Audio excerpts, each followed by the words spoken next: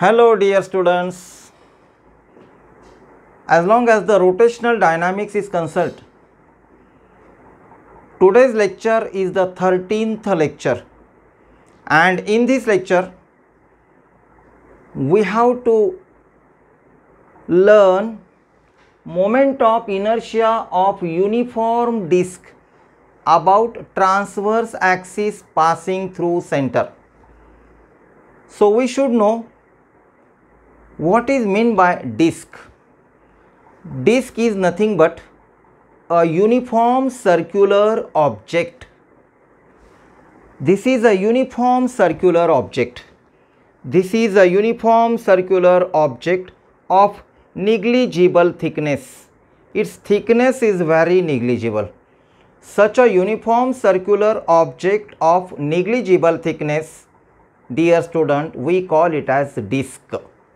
And we have to calculate moment of inertia of uniform disk about transverse axis passing through center like this. This is a transverse axis. Transverse axis means perpendicular axis passing through center. So, what is the moment of inertia of a disk about transverse axis passing through center that we want to calculate. Before that I have drawn a diagram already on the board. We will see the diagram at first and what is the labeling that I have given. I have taken an element of a disk. This red ink indicates element of a disk. That element of a disk is nothing but a ring of negligible thickness dr. Thickness of the ring is dr whose radius is radius of the ring is small r where capital R is the radius of a disk. That labeling that I have written here dm is the mass of ring dm is the mass of ring capital M is a mass of disk.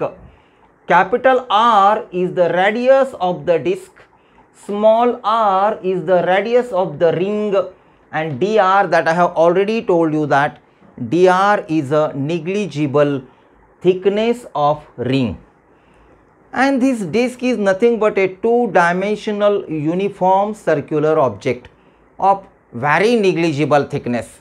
This is a uniform two dimensional circular object of very negligible thickness. We call it as disk and we want to calculate mi of a disk about transverse axis that means perpendicular axis passing exactly through center like this that we want to calculate. So, at first we take element of a disk that is ring and we calculate at first moment of inertia of a ring at first. So, for that purpose we have to calculate sigma, sigma means what? Mass per unit area of a ring. See here, sigma, sigma is mass per unit area that we call it as surface density of a ring given by sigma is equal to mass of a ring dm per unit area. What is the area of a ring? Area of a ring is nothing but 2 pi r circumference of a ring into thickness of the ring dr. From that we get dm. dm is nothing but the mass of a ring. That mass of a ring we get is 2 pi r sigma dr. This is mass of a ring and at first we calculate mi of a ring about transverse axis passing through center. Very simple. Calculate the mi of a ring at first and after calculating the mi of a ring from that we calculate mi of a disk about transverse axis passing through center. So, what is the definition of mi? mi is nothing but mass into distance square. What is mass? Mass is dm. What is distance? Distance is r square that means small r square. So, mi of a ring about transverse axis passing through center is di and that di is equal to dm into r square. That I have written here. dm into r square. di is equal to dm into r square. What is the value of dm put the value of dm here. dm is equal to 2 pi r sigma dr put here. dm is equal to 2 pi r sigma dr into r square. That means using equation what by putting the value of dm you will get what di is equal to 2 pi sigma r square into r r cube into dr. This di equation number 2 suggests mi of a ring about transverse axis passing through center. And then now we have to calculate mi of a disk. To calculate mi of a disk to calculate mi of a disk we'll have to take integration of equation 2 so here mi of a disk about transverse axis passing through center is given by integration of equation 2 that is integration of di is equal to 2 pi sigma r cube into dr within the limit 0 to capital R. Why this limit come? Suppose at the center radius of the disk is 0 and at the circumference at the edge of the circumference radius maximum radius is capital R that is extreme radius. At the center radius of the disk is 0 at center and at extreme on the circumference and at the point of circumference of disk which is equal to capital R. So, capital R is upper limit and 0 is lower limit. So, we can write here like this integration of di is equal to integration of 2 pi sigma r cube into dr this integration and from within the limit 0 to capital R. What is integration of di? Integration of di is capital I. So, I have put here capital I is equal to what? What is the constant term? Constant term is 2 pi sigma. It is constant. So, take outside the integration. Inside the integration we get what? R cube into dr 0 to r.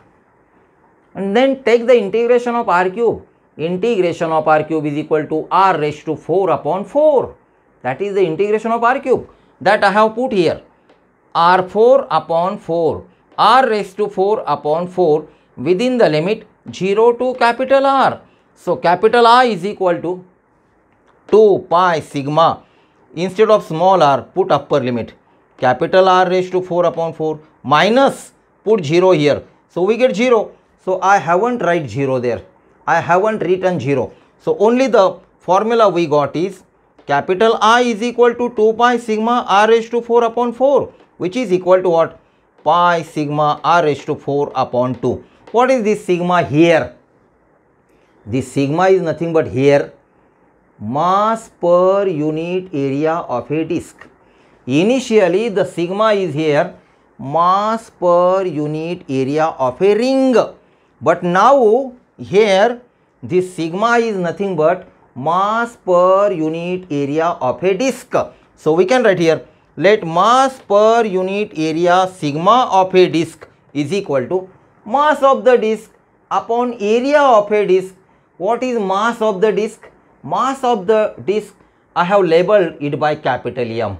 So, mass of a disk upon area of a disk, what is area of a disk? Pi r square. So, sigma is equal to capital M upon pi r square by putting the value of sigma here that I have put by using red ink properly. Purposefully that I have used red ink for putting the value of sigma. So, we get what?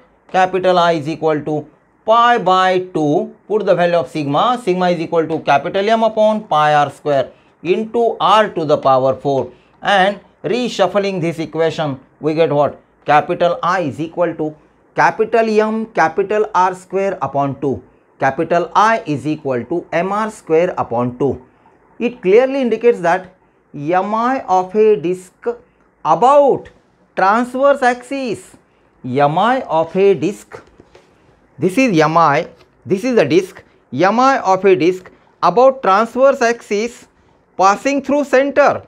Transverse axis means perpendicular axis, perpendicular to the plane of the disk passing through center is given by capital I is equal to mr square upon 2.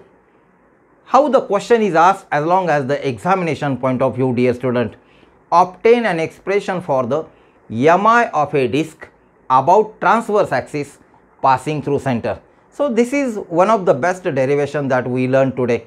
And after learning this we will meet again to the next lecture lecture number uh, rotational dynamics 14 and in that rotational dynamic 14 we will see later on we will see what articles after this that we will see later on. Okay?